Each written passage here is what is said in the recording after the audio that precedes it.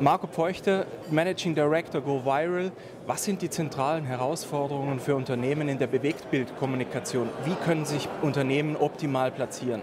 Die wichtigste Herausforderung für ein Unternehmen sollte natürlich sein, erstmal eine Strategie aufzusetzen, was ich mit dem Bewegtbild überhaupt erreichen möchte.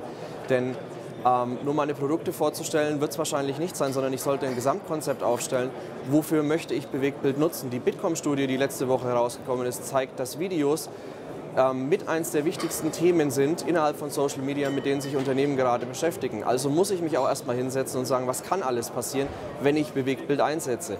Und die große Herausforderung darin ist dann natürlich, wie bringe ich dieses Bewegtbild überhaupt zu meinen potenziellen Kunden? Denn von alleine kommen die User nicht auf mich zu, nur weil ich das Video bei YouTube platziert habe.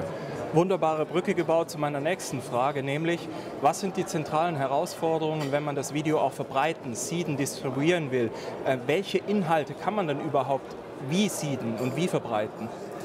Sehr banal ausgedrückt würde ich mich als Marketingleiter in einem Unternehmen einfach mal hinsetzen, meinen TV-Spot anschauen und mich selber fragen, würde ich den denn weiterleiten? Jetzt vielleicht nicht mit dem Blickwinkel, dass es meine Produkte sind, sondern weil der Spot interessant ist. Das Storytelling im TV funktioniert einfach anders, als es im Internet funktioniert.